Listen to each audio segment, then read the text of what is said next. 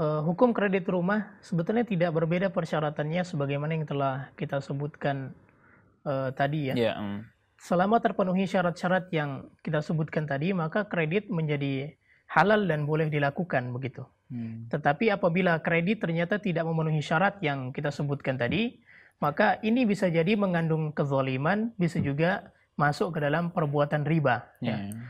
Jadi sebetulnya syariat ketika melarang perbuatan riba tujuannya adalah agar tidak ada pihak yang dirugikan begitu.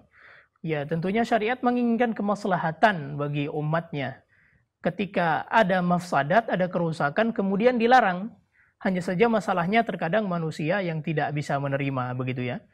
Jadi syarat yang kita tersebutkan tadi ya di antaranya bahwa maksud dari jual beli kredit itu baik rumah, sepeda motor atau apa pun. Karena sekarang kalau kita perhatikan semuanya dikredit.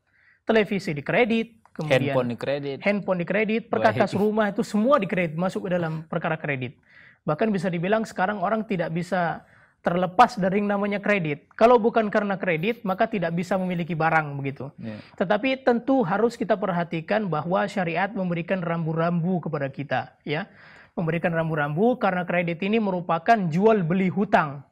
Ya, pada hakikatnya kita mengambil barang terlebih dahulu, kemudian kita membayar per bulan. Ini kan jual beli secara hutang. Yeah. Oleh karena itu kemudian perlu kita tetapkan syarat-syaratnya. Jadi jawaban dari pertanyaan dari ya, saudari penanya tadi bahwa kredit rumah tersebut boleh selama terpenuhi syarat. Yeah. Apabila tidak terpenuhi syarat, maka ini bisa masuk ke dalam perbuatan riba atau bisa saja pembeli nanti terzalimi, ya, terzalimi.